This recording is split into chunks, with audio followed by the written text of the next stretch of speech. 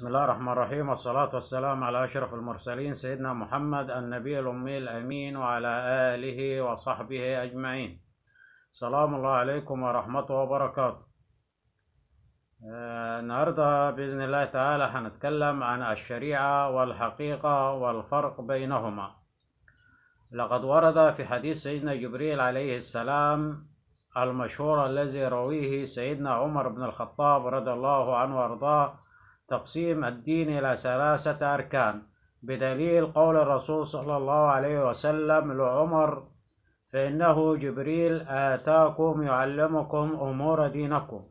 أخرجه مسلم في صحيحه في كتاب الإيمان والإسلام والإحسان الجزء الأول صفحة 64 آه، فركن الإسلام هو الجانب العلمي من عبادات ومعاملات وأمور تعبدية ومحله الأعضاء الظاهرة والجسمانية. وقد اصطلح العلماء على تسميته بالشريعة واختص بدراسته السادة الفقهاء. آه، ركن الإسلام أو ركن الإيمان ركن الإيمان وهو الجانب الاعتقادي القلبي من الإيمان بالله وملائكته وكتبه ورسله واليوم الآخر والقضاء والقدر. وقد اختص بدراسته السادة علماء التوحيد. أما ركن الإحسان وهو الجانب الروحي القلبي وهو أن تعبد الله كأنك تراه فإن لم تكن تراه فإنه يراك. وما ينتج من ذلك من أحوال وأذواق وجدانية ومقامات عرفانية وعلوم وهبية. وقد اصطلح العلماء على تسميته بالحقيقة. واختص بدراسته وببحثه السادة الصوفية. ولتوضيح الصلة بين الشريعة والحقيقة نضرب مثلا الصلاة فالإتيان بحركاتها وأعمالها الظاهرة والتزام أركانها وشروطها وغير ذلك مما ذكره علماء الفقه يمثل جانب الشريعة. وهو جسد الصلاة وحضور القلب مع الله تعالى في الصلاة. يمثل جانب الحقيقة وهو روح الصلاة فأعمال الصلاة البدنية هي جسدها والخشوع روحها. وما فائدة الجسد بلا روح وكمان الروح تحتاج إلى جسد تقوم فيه فكذلك الجسد يحتاج إلى روح يقوم بها. ولهذا قال الله تعالى وأقيموا الصلاة وأتوا الزكاة. ولا تكون الإقامة إلا بجسد وروح. ولذا لم يقل أوجدوا الصلاة. ومن هذا ندرك التلازم الوثيق بين الشريعة والحقيقة. كتلازم الروح والجسد والمؤمن الكامل هو الذي يجمع بين الشريعة والحقيقة. وهذا توجيه الصوفية للناس مقتفيين بذلك أثر الرسول صلى الله عليه وسلم وأصحابه الكرام. وللوصول إلى هذا المقام الرفيع والإيمان الكامل فلا بد من سلوك الطريقة وهي مجاهدة النفس وتصعيد صفاتها الناقصة إلى صفات كاملة والترقي في مقامات الكمال بصحبة المرشدين. فهي الجسر الموصل من الشريعة إلى الحقيقة. فالشريعة هي الأساس والطريقة الوسيلة والحقيقة هي الثمرة. وهذه الأشياء الثلاثة متكاملة منسجمة.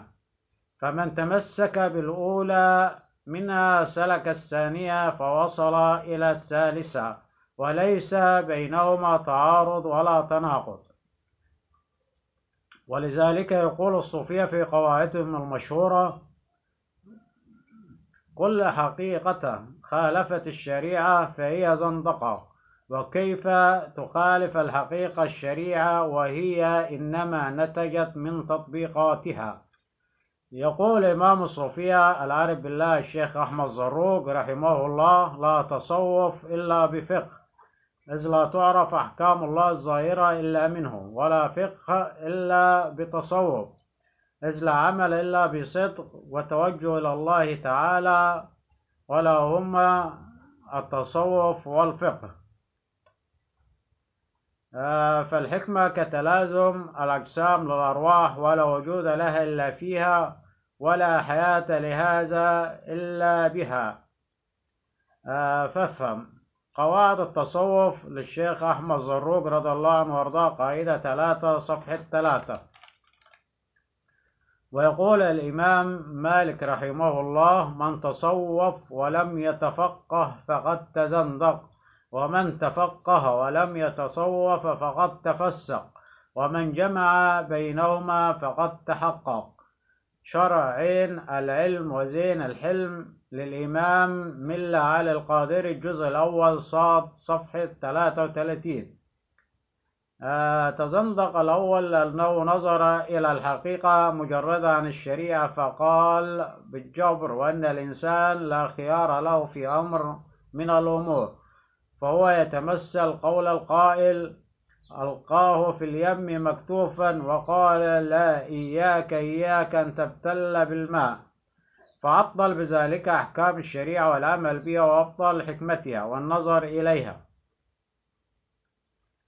آه، متفسق الثاني لأنه لم يدخل قلبه نور التقوى وسر الإخلاص وواعظ المراقبة وطريقة المحاسبة حتى يحجب عن المعصية ويتمسك بأهداف السنة بأهداف السنة النبوية.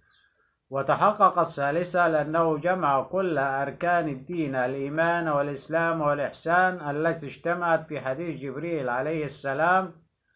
وكما حفظ علماء الظاهر حدود الشريعة كذلك حفظ علماء التصوف أدابها وروحها. وكما أبيح العلماء الظاهر الاجتهاد في استنباط الأدلة واستخراج الحدود والفروع والحكم بالتحليل والتحريم على ما لم يرى يرد فيه نص فكذلك العارفين أن يستنبطوا آداب ومناهج التربية للمريدين وتهذيب السالكين. ولقد تحقق السلف الصالح والصوفية الصادقين بالعبودية الحق في الإسلام الصحيح وأجمعوا بين الشريعة والطريقة والحقيقة فكانوا متشرعين متحققين يهدون الناس إلى الصراط المستقيم. دي كان الفرق بين الشريعة والحقيقة وإن شاء الله في فيديو قادم سوف نتكلم عن أئمة الصوفية وتمسكهم بالكتاب والسنة. آه، وأخيرا إذا أعجبكم الفيديو لا تنسوا الاشتراك في القناة وتفعيل زر الجرس ليصلكم كل جديد. وسلام الله عليكم ورحمته وبركاته.